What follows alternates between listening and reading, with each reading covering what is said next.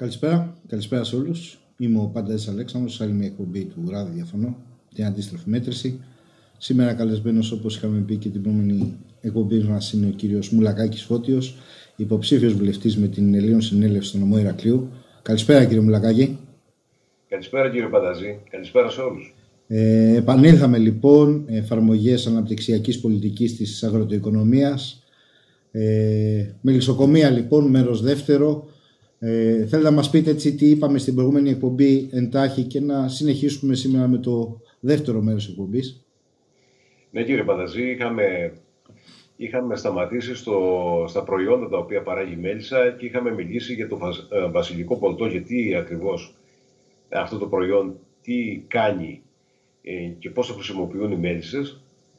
Ε, μιλήσαμε για το μέλι και το πώς το διαχειρίζονται Δυστυχώς οι περισσότεροι μελισσοκόμοι σήμερα, ειδικά, ειδικά οι μεγάλοι επιχειρηματίες που έχουν δηλαδή πολλά μελισσιά και θεωρώ ότι αυτό είναι μία νοοτροπία η οποία ε, έχει ε, συμβαίνει ας πούμε διότι μας έχει γίνει συνήθεια το, ο ανταγωνισμός, μας το έχουν επιβάλει, μας έχει γίνει νοοτροπία να έχουμε υπόψη μας πάντα τον ανταγωνισμό εις βάρος της ποιότητας φυσικά. Αυτό συμβαίνει σε όλα τα προϊόντα και όχι μόνο στο μέλι, ε, στο οποίο αναφερόμαστε.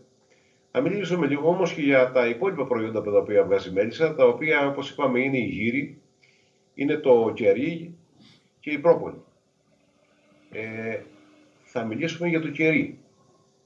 Το κερί εκτός ότι τη χρήση που του κάνουν, ας πούμε, του κάνανε μάλλον γιατί τώρα βγαίνει χημικό κερί, δεν ξέρω ακριβώς τα συστατικά που το βγάζουν. Παραφίνη είναι από πετρέλαιο στην ουσία. Παραφίνη από. Ναι, ακριβώ. Ναι, ναι. Ε, παλιότερα βέβαια το κερί το χρησιμοποιούσαν και παράβαντα κεριά σε εκκλησίε. Ε, Εμείς θα μιλήσουμε για την πραγματική θεραπευτική του χρήση. Με το κερί φτιάχνουν τις περίφημες κεραλιφές, οι οποίες τις χρησιμοποιούν σε διάφορες δερματικές ειδικά παθήσεις ε, και είναι πάρα πολύ αποτελεσματικό από άρα πολύ αποτελεσματική, δηλαδή και αραλυφή. Πολλές φορές βέβαια την αναμειγνύουν και με την ε, πρόπολη. Μαζί η οποία ε, λειτουργεί, θα χρησιμοποιήσω τη λέξη θαυματουργά, ας πούμε, σε περιπτώσεις ε, δερματικών παθήσεων ε, και διαφόρων άλλων ασθενειών. Επίσης, ο, είναι η γύρι. Ένα πάρα πολύ σοβαρό και αυτό προϊόν το οποίο βοηθάει τον οργανισμό, βοηθάει τον ανασωπητικό. Έχει πάρα πολλές ε, ε, ιδιότητες ιδιαίτερες όσον αφορά δηλαδή τα ωφέλη που έχει προς τον ανθρώπινο οργανισμό. Όλα αυτά τα προϊόντα μπορούν να τυποποιηθούν κύριε Πανταζή και μπορούν να, ε, και να χρησιμοποιηθούν θα έλεγα διότι είναι προϊόντα τα οποία πραγματικά ε, κάνουν καλό στον, ανθρώπινο, στον ανθρώπινο οργανισμό, βοηθάνε δηλαδή καταρχάς το, το ανοσοποιητικό μας σύστημα. Σίγουρα, ε, πάντως κύριε Μουλακάκη, κάποια χρησιμοποιούνται μου φαίνεται, αλλά εγώ σαν καταναλωτής θα πω ότι δεν έχω εμπιστοσύνη στα σκευάσματα τα, τα οποία πουλούνται στο φαρμακείο και σου λένε ότι αυτό είναι, έχει μέσα πρόπολη, έχει το ένα, έχει το άλλο. Εγώ προσωπικά δεν έχω κάποια εμπιστοσύνη. Γι' αυτό και αν θέλω πρόπολη ή γύρι μάλλον ε, θα απευθυνθώ σε ένα μελισσοκόμο. Ακριβώς. Δεν υπάρχει εμπιστοσύνη πια στην αγορά γιατί όπως είπατε και εσείς η πολιτική της αγοράς αυτή τη στιγμή είναι να, ε, να στοχεύει στην ποσότητα και όχι στην ποιότητα. Σε οποιοδήποτε όπου και να πιάσουμε εκεί θα καταλήξουμε. Από τα μάξια μέχρι και τα φυτικά προϊόντα ε, το ίδιο Έχει υπάρχει. Έτσι ακριβώς είναι. Πραγματικά. Έτσι ακριβώς είναι. Ε, να μπούμε σε ένα άλλο θέμα τώρα, όσον αφορά τις ασθένειες. Αυτό ναι, είναι ένα τεράστιο θέμα το οποίο νομίζω πρέπει να γνωρίσουμε κάποια πράγματα. Ε, πείτε μας κύριε Μουλακάκη. Να γνωρίσουμε τους εχθρούς σε περιπτώσει της μέλισσας. Ε, θα πω το εξής ότι πριν από περίπου 50 με 60 χρόνια άρχισαν να, άρχισαν να εμφανίζονται τα πρώτα κρούσματα ε, ειδικά από μια ασθένεια η οποία λέγεται βαρόα. Αυτό είναι ένα, ε, ένα πάρα πολύ μικροσκοπικό ε, ε, πώς να το χαρακτηρίσω, δεν, δεν ξέρω. Ε, ε, Έντομο ακάρεο τι είναι; Ακάρεο είναι, ναι, ακάρεο το οποίο ε, κάθεται πάνω στη μέλισσα και της ε, πίνει το αίμα της. Το οποία δεν την αφήνει να την καθυλώνει, δεν, δεν, δεν την αφήνει ας πούμε, να ε, έχει μια υγιή ζωή και να έχει δύναμη. Αυτό λοιπόν γιατί όταν ένα μελίσι εξαπλωθεί αυτό το ακάριο στο μελίσι μέσα, το καθυλώνει μέχρι που μπορεί να το εξοντώσει και εντελώς. Ναι. Βεβαίως. Αυτό είπατε δεν υπήρχε πριν από 60 χρόνια; Όχι. Πουθενά στον κόσμο; Δηλαδή δεν ήρθε από κάποια άλλη χώρα κάτι; Ναι, ακούγεται να λένε, ξέρετε, λέει, ήρθε από τη, κάποιες μέλης που φέρανε, που εισάγανε τότε για να, από την, ε, από, τα, ε, από την Ρωσία. Α. Από βόρεια, εν πάση περιπτώσει. Θέλοντας να δικαιολογήσουν την εμφάνισή του. Είναι Διότι η μέλισσα, ναι. η μέλισσα, ήταν ένα έντομο το οποίο ήταν, ήταν άγριο. Αλλά οι, οι ντόπιοι το είχαν Παλιά βέβαια δεν είχαν τις κυψέλες που έχουν σήμερα, είχαν τα, ε, σε κάποια μικρά πιθάρια, εκεί μέσα τις είχαν τις μέλισσες και από εκεί μέσα κάνανε όλη τη διαδικασία. Ε, ήταν καθαρές οι μέλισσες τότε, δεν είχαν ούτε ασθένειες, δεν είχαν τίποτα. Επίσης είναι και η νοζεμίαση, έτσι λέγεται μια άλλη ασθένεια, και δυστυχώς όλα αυτά τα αντιμετωπίζουν με χημικά. Με χημικά. Αυτό είναι εις βάρος λοιπόν του προϊόντος εις βάρος του μελιού, είναι εις βάρος γενικότερα ε, όλα αυτά τα προϊόντα τα οποία βγάζει η μέλισσα.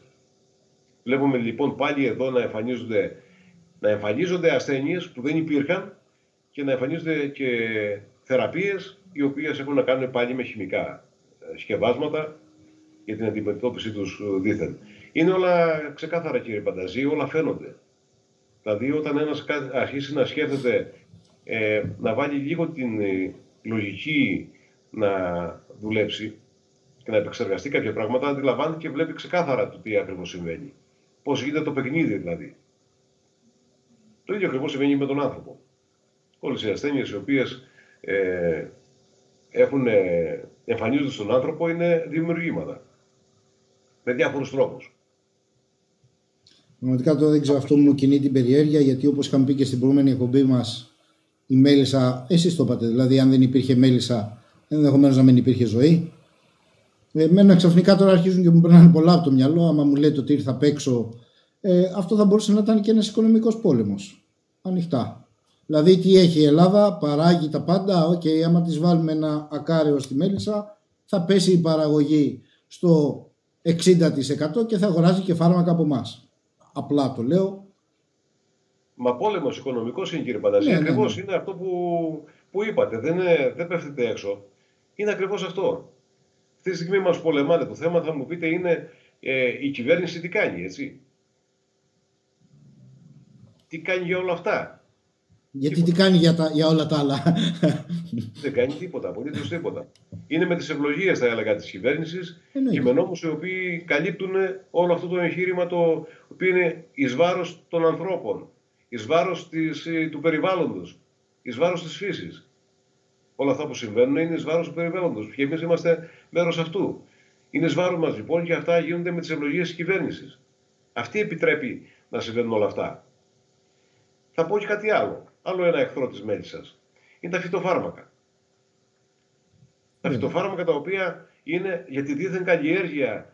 Ε, όταν σταματήσανε κάποια εποχή, θυμάμαι πριν από 30-40 χρόνια περίπου, να ε, αντικατέστησαν το σκάψιμο, το όργωμα, με να με τα φυτοφάρμακα τα οποία ξέραναν την χλωρίδα. Ξέραναν δηλαδή τα χόρτα τα οποία φύτρωναν μέσα στις καλλιέργειες. Ναι. Όταν λοιπόν σε κάτι αυτά, αυτό συμβαίνει την άνοιξη.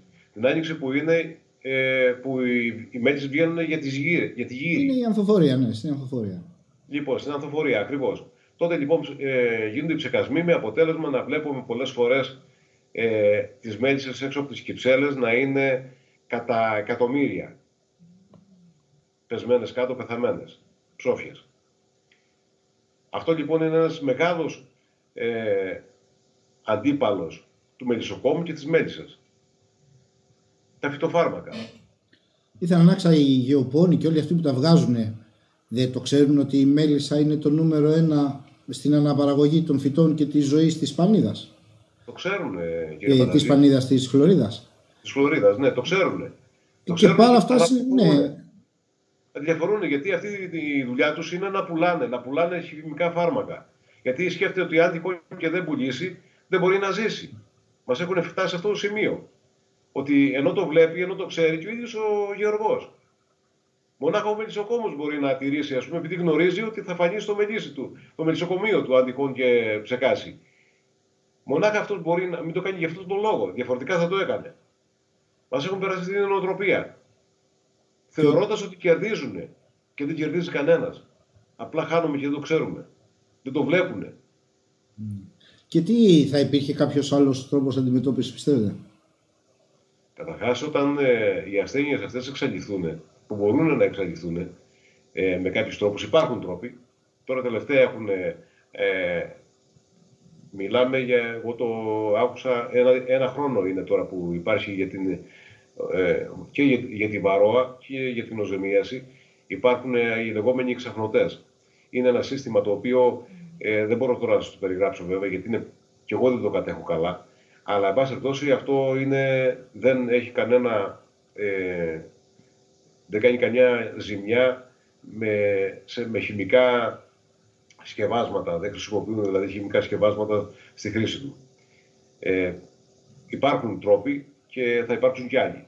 Στην εν πάση περιπτώσει, την επόμενη μέρα, μια και μιλάμε, γιατί όλα αυτά τα αναφέρομαι για την, για την επόμενη μέρα το τι μπορεί να γίνει τυποποιώντας όλα αυτά τα προϊόντα ε, που είναι ε, παράγωγα της μέλισσας και όχι μόνο, για τον αγρότη μιλάμε για την αγροτοοικονομία, όταν αυτά τυποποιηθούν την, μέρα, την εποχή των Ελλήνων, αυτά όλα τα υπόλοιπα, όταν μιλάμε για χημικά, θα είναι μια κακιά ανάμνηση. Αυτά θα απαγορεύονται διαρροπάλου. Όλα τα προϊόντα τα οποία θα, θα παράγονται θα είναι καθαρά, θα είναι αυτούσια, όπως ακριβώς τα προσφέρει η μητέρα φύση. Δεν θα υπάρχει περιθώριο να γίνεται καμία χρήση ε, χημικού σκευάσματος το οποίο να είναι επιβλαβές για τον mm. άνθρωπο και για το περιβάλλον. Αυτό είναι ξεκάθαρο.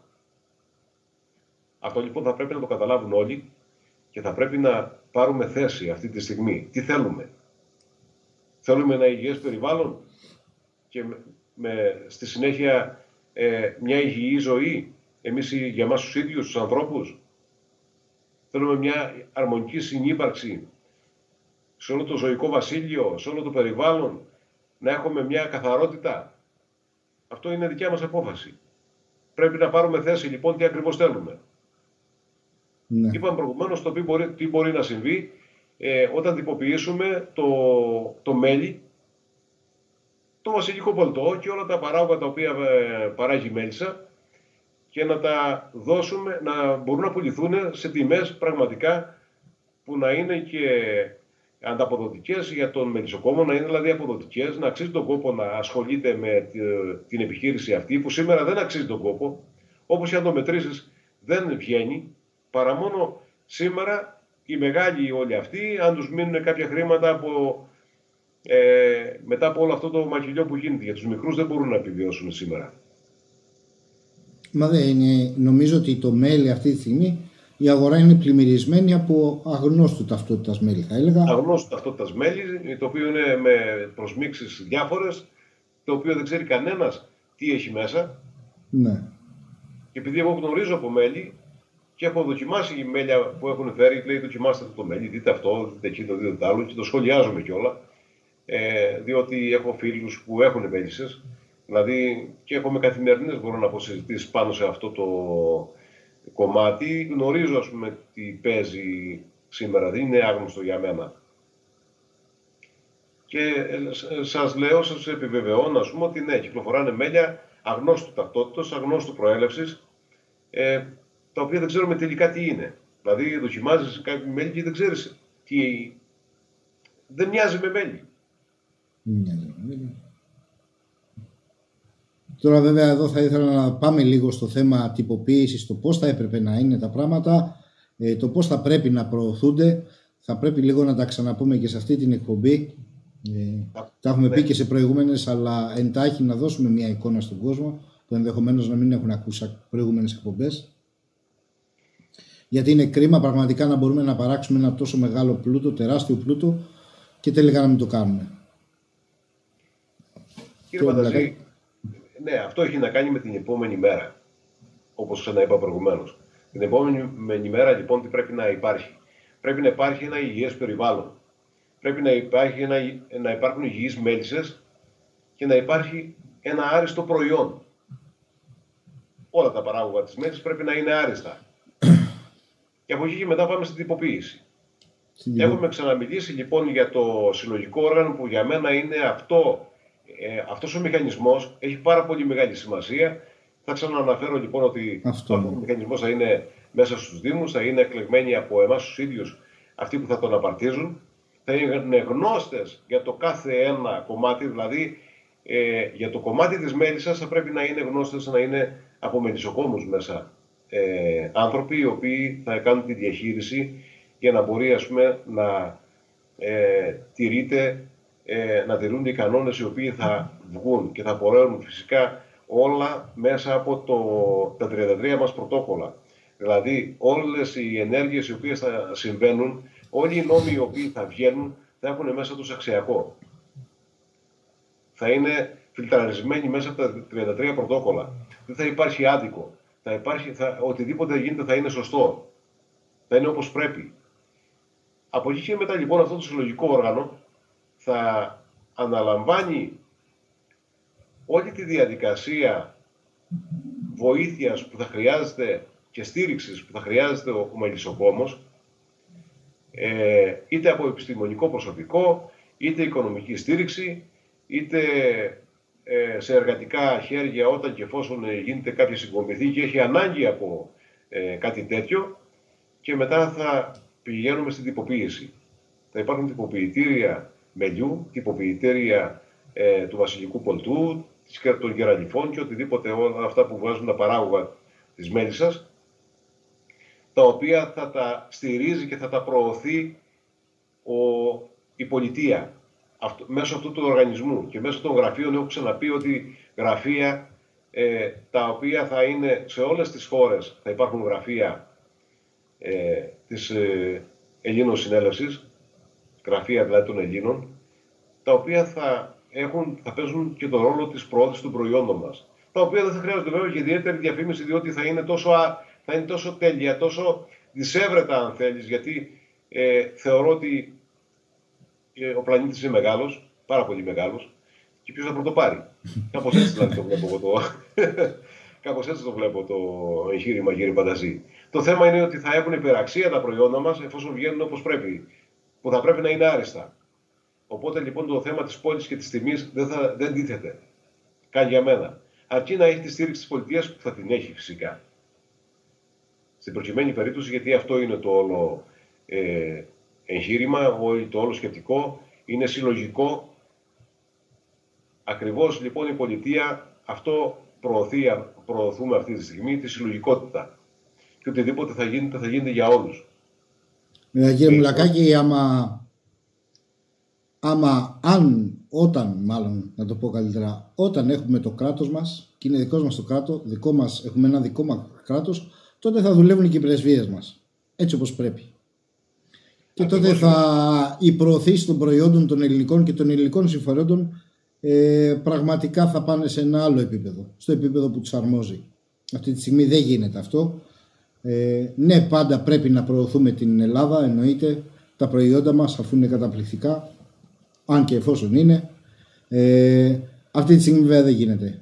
Θεωρώ ότι με μια ελληνική κυβέρνηση, καθαρά ελληνική κυβέρνηση και με ελληνικές πρεσβείες σε όλο τον κόσμο πραγματικά στο θέμα της οικονομίας θα πω πάνω στο θέμα της οικονομίας θα, τα προϊόντα μας ε, θα γίνουν ανάρπαστα. Τα θέλει ο κόσμος, τα χρειάζεται, όχι ότι χωρίς αυτό να σημαίνει ότι θα πρέπει να γίνουμε και κερδοσκόποι, έτσι. Αλλά θα μπορούμε να μοιραστούμε τα προϊόντα μας είτε για φαρμακευτικούς λόγους είτε για διάφορους λόγους με τον υπόλοιπο πλανήτη, πράγμα το οποίο δεν γίνεται αυτή τη στιγμή. Μα θα πρέπει κύριε Πανταζή ο αγρότης να κερδίζει. Που σήμερα δεν κερδίζει. Έχουμε πει, έχουμε φέρει το παράδειγμα του, του, ελαιό, του ελαιόλαδου. Έχουμε δει δηλαδή ότι μια τεράστια ψαλίδα περίπου στο 1000% από την τιμή που πληρώνει ο παραγωγός με τη τιμή που αγοράζει ο καταναλωτής, ποιος το καρπείται αυτό το, το 1000%, τη διαφορά αυτή δηλαδή. Ε, βλέπουμε απίστευτα πράγματα τα οποία συμβαίνουν σήμερα και ο αγρότης πεινάει. Και περιμένει να δώσει μια ελεημοσύνη αυτό το λεγόμενο κράτος. Αυτό είναι απαράδεκτο. Και μας έχει εξαθλειωμένου τους αγρότες ε, και μας κρατάει γονατισμένους, εξαθλειωμένου για να είμαστε φυσικά διχειρήσιμοι. Υπάρχει σκοπός και συμβαίνει αυτό. Αλλά αυτό όμως δεν μπορεί να συμβαίνει στον Έλληνα. Δεν πρέπει να συμβαίνει στον Έλληνα, στον άνθρωπο δηλαδή. Ναι. Δεν γίνεται. Και αυτό θα το σταματήσουμε, κύριε Πανταζή. Αυτό στις μέρες μας θα σταματήσει και είναι πάρα πολύ κοντά ο καιρός, ο οποίος όλοι αυτοί οι οποίοι δυνάστευαν, ε, θα πω τον πλανήτη, όχι μόνο την Ελλάδα, αλλά εμείς μιλάμε για τη χώρα μας αυτή τη στιγμή, αλλά και ολόκληρος ο πλανήτης δυναστεύεται μια συγκεκριμένη κάστα, οι οποίοι εγώ θα τους χαρακτηρίσω, ε, είναι μια συμμορία, θα έλεγα. Δεν είναι άνθρωποι αυτοί, διότι ο άνθρωπος πρέπει να σκέφτεται τον άνθρωπο και πρέπει να σκέφτεται ανθρώπινα. Αυτό θα πω με απλά λόγια και νομίζω ότι το καταλαβαίνουν όλοι όσοι. Αυτό λοιπόν θα συμβεί πάρα πολύ γρήγορα. Είναι, είμαστε πολύ κοντά στις μέρες των ανθρώπων, στις μέρες των Ελλήνων. Οπότε θα δούμε τα πράγματα, αυτά τα οποία λέμε δηλαδή σήμερα, θα τα δούμε να υλοποιούνται. Αρκεί εμείς να το αντιληφθούμε και αρκεί να το καταλάβουμε και να, να στηθούμε όρθιοι. Το έχω πει παλιμένο, θα το λέω συνεχώς. Θα πρέπει να υψώσουμε το ανάστημα, το ψυχικό μας ανάστημα, να, να, να αισθανθούμε ότι είμαστε, δεν είμαστε υποχείρια, δεν είμαστε δούλοι κανενός. Είμαστε άνθρωποι και, είμαστε, ε, και έχουμε αξίες, αρχές, έχουμε αυθονία, έχουμε δυνάμεις που δεν τις γνωρίζουμε αυτή τη στιγμή. Θα πρέπει λοιπόν να το καταλάβουμε όλοι μας αυτό για να μπορέσουμε να πάρουμε πίσω αυτά που μας ανήκουν. Είναι σίγουρο ότι αν οι Έλληνες έχουν ένα κράτος στα χέρια τους, πραγματικά δικό τους, είναι ένα τεράστιο, τεράστιο, μα τεράστιο εργαλείο ε, με το οποίο μπορούν να καταφέρουν πάρα πολλά πράγματα. Δεν έχουμε δει χρήση του εργαλείου αυτού από καμία κυβέρνηση. Ε, θα πρέπει τη χρήση να την κάνουμε εμείς. Τα πράγματα ναι, θα γίνουν. Εγώ θα επιτρέψτε μου να σας διορθώσω να το πω ε, αν, είναι και, αν και εφόσον είναι διόρθωση, θα τα κάνουμε. Δεν θα γίνουν. Εμείς θα τα κάνουμε. Επιμένω σε αυτό. Το, λέω, το λέω γιατί υπάρχει η νοοτροπία του ψηφίζω κάτι και θα πάει να το κάνει αυτός. Όχι, από αυτή τη λογική πρέπει να φύγουμε. Ε, δεν ξέρω πώς ακριβώς θα γίνει, τι ακριβώς θα γίνει, αλλά ο κόσμος νομίζω ότι πρέπει να το κάνει αυτό, να το κατανοήσει ότι πρέπει να είναι ενεργός στην πολιτεία του. Πρέπει να είναι ενεργός σε ένα λεπτό θα το αναπτύξω αυτό.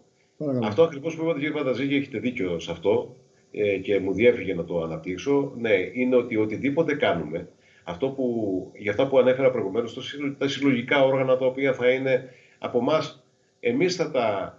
Ε, εμείς θα ξεκαθαρίσουμε ποιοι άνθρωποι ε, θα μπουν σε αυτές τις θέσεις. Εμείς δηλαδή θα τους ψηφίσουμε όλους αυτούς, οι οποίοι θα, με ψήφους θα γίνονται όλα αυτά μέσα από τα ε, δημοτικά, ε, από τους Δήμους. Ε, εμείς οι ίδιοι λοιπόν θα αποφασίσουμε για το πώς θέλουμε να ζήσουμε. Εμείς, θα βάλουμε, εμείς οι ίδιοι θα βάλουμε αυτούς που θα διαχειρίζονται ε, τα διάφορα, τα συμφέροντά μας. Εμείς θα αποφασίζουμε για εμάς πώς θέλουμε να ζήσουμε. Πράγματι, είναι δικό μας το θέμα και εμείς θα πρέπει λοιπόν να αναλάβουμε την διαχείριση μόνοι μας. Πραγματικά. Έτσι είναι, και... αυτή είναι η λογική. Και να... τώρα θυμήθηκα και κάτι από, τις, ε, από τον πολιτικό φορέα της Ελλήνων Συνέλευσης, τον οποίο τον έχουμε συζητήσει σε αυτή την εκπομπή. Η λογική, μια λογική η οποία θα μπορούσε να ακολουθεί και εδώ δεν είναι απαγορευτική. Νομίζω ίσα ίσα πολύ θα το θέλανε. Να είμαστε σαν κοινωνία, σαν Δήμος, να βγάζουμε τους αρμόδιους που θα ασχολούνται με το μέλι, με το ένα, με το άλλο. Ενδεχομένως να είμαστε κι εμείς ένας από αυτούς. Και να βγάζουμε και καμιά δεκαριά άτομα και να τραβάμε και με κλήρο. Δεν είναι κακό. Ακριβώς, κύριε Πανταζή. δηλαδή, νομίζω ότι αυτό αρχίζει πια και ξεδιαλύνει πάρα πολύ τα πράγματα. Εμένα είναι ειδοποιώς διαφορά αυτό ότι θα ψηφίσουμε 20 άτομα και από εκεί θα διαλέξουμε με κλήρο, γιατί ούτως ή άλλως είναι 20 καλύτεροι που έχουμε. Δεν μας ενδιαφέρει. ε, ποιος θα βγει και συνέχεια να αλλάζουν. Νομίζω ότι είναι αρκετά δίκαιο αυτό. Ακριβώς γιατί είναι για το συμφέρον όλων. Είναι συλλογικό. Θα ψηφίσουμε λοιπόν και θα βγάλουμε τους ικανότερους. Αυτό θα συμβεί. Και τι θα είναι προ όφελο όλων να βγει ένας ικανός ο οποίος να κάνει μια συγκεκριμένη διαχείριση για εμάς. Για τον ίδιο τον άνθρωπο ο οποίος τον, τον ψηφίζει και να διαχειριστεί το, φυσικά για τον εαυτό του και για τους υπόλοιπους. Να διαχειριστεί για όλους. Αλλά ξεχωρίζει όμως τον ικανό και αυτόν θα ψηφίσει. Δεν θα βάλει κάποιον ο οποίος ξέρει ότι είναι κάπως, ότι είναι έτσι, ότι είναι αλλιώς. Αυτά συμβαίνανε μέχρι σήμερα. Εμείς αυτό λέμε να το αλλάξουμε.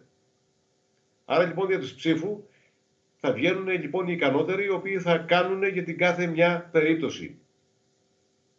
Και σίγουρα είμαι σίγουρος κύριε Μουλακάκη ότι θα ανακαλύψουμε και οι ίδιοι πάρα πολλά άτομα τα οποία νομίζουν ότι πρέπει να ασχολούνται μόνο με αυτό ενώ είναι καλοί σε πολλά κομμάτια και ενώ στο κομμάτι διαχείρισης, διοίκησης θα αναδειχθούν πάρα πολλά άτομα μέσα από την πολιτεία μας τα οποία αυτή τη στιγμή δεν θέλουν να ανακατεύονται και βολεύονται με μια άλλη λύση η οποία παρουσιάζει η πολιτεία αυτή τη στιγμή. Η πολιτεία θα τη βάλω σε τέτοιο. Δηλαδή έχουμε στάνταρ οικογένειες που ψηφίζουμε, στάνταρ άτομα στα δημοτικά συμβούλια. Όχι, να δούμε και κανένα καινούριο, κανένα καινούριο ταλέντο να το πω έτσι, όπως το λέτε κι εσείς.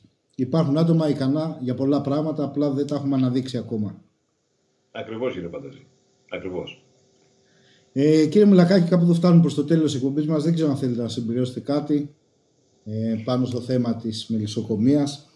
Και νομίζω Κύριε καλύψαμε... Αυτό που είπα και προηγουμένως, αυτό θα το ξαναπαναλάβω, ε, αλλά δεν θέλω να γίνομαι και κουραστικός, ότι θα πρέπει να αναλάβουμε ο καθένας τις ευθύνες του. Αν θέλουμε να έχουμε τη διαχείριση εμείς και να μην αφήνουμε κανένα να διαφεντεύει τα συμφέροντά μας και τη ζωή μας, να μην αφήνουμε κανένα να μας ξαθλιώνει, να μην αφήνουμε κανένα να μας κουνάει το δάχτυλο, γιατί είμαστε ικανοί να αποφασίσουμε μόνοι μας για εμάς και για το, τα παιδιά μας, για τους απογόνους μας. Όλοι. Θα πρέπει λοιπόν να το αντιληφθούμε αυτό και να πάρουμε θέση πλέον ξεκάθαρη ε, ότι η επόμενη μέρα είναι η μέρα των ανθρώπων, είναι η μέρα των Ελλήνων. Είναι η μέρα η δικιά μας. Και θα πρέπει λοιπόν να έρθει όταν έρθει η στιγμή που είναι πάρα πολύ κοντά επαναλαμβάνω να πάρουμε θέση ξεκάθαρη και να το, να το τελειώσουμε. Όταν εμείς σηκωθούμε όρθιοι, θα πω το αυτό, όρθιο το ανάστημά μας και δεν μιλάω για τον πόη μας, μιλάω για το ψυχικό μας ανάστημα, αυτοί θα εξαϊλωθούν, θα εξαφανιστούν. Αυτό έχω να πω και δεν έχω κάτι άλλο. Να είστε καλά κύριε Μουλακάκη που ήσταν και απόψε μαζί μας. Καλό βράδυ θα πω, καλό βράδυ σε εσάς. Καλό βράδυ και στους τηλεθεατές μας. Και εγώ ευχαριστώ κύριε Πανταζή που μου δώσατε την ευκαιρία. Καλό βράδυ σε όλους. Να είστε καλά. Γεια σας.